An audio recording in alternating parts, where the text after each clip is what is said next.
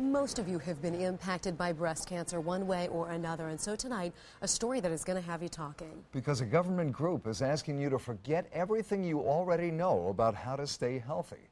The U.S. Preventive Services Task Force has new recommendations it claims you can wait until after the age of 50 for your first mammogram, and you only need to be screened every two years, not annually. Now, researchers are also saying those self exams you've been told to do every month, even clinical screenings, don't help your death rate if you're diagnosed. NBC Chief Medical Editor Dr. Nancy Snyderman joining us tonight to talk more about this new research. Dr. Snyderman, I know a lot of people, breast cancer survivors especially, are going to hear this and they are going to be downright outraged. So let's first talk about these self exams.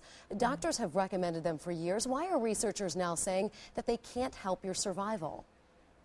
You know, it's interesting, Sheree. I'm not sure everybody's been recommending them, and here's why.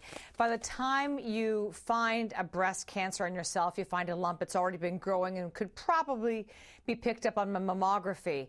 The problem is not all breast cancers are alike, and that's where a lot of the confusion is.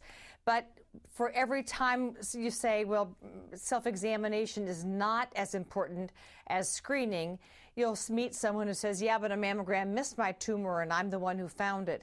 We have to remember that today's report looks at the hard science, the hard numbers of screening and lives saved. And while we live and breathe by our anecdotes, we have to put them in two separate groups.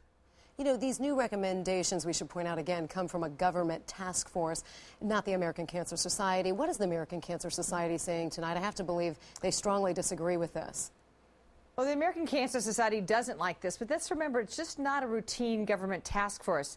This is made up of physician scientists from MD Anderson, Stanford, Georgetown, the Dana Farber Institute, the Harvard School of Public Health. So these are people from very different universities looking at data and trying to really figure out what guidelines should be.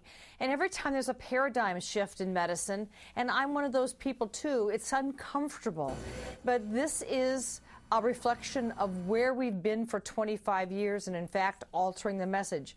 You're right. The American Cancer Society doesn't like this at all.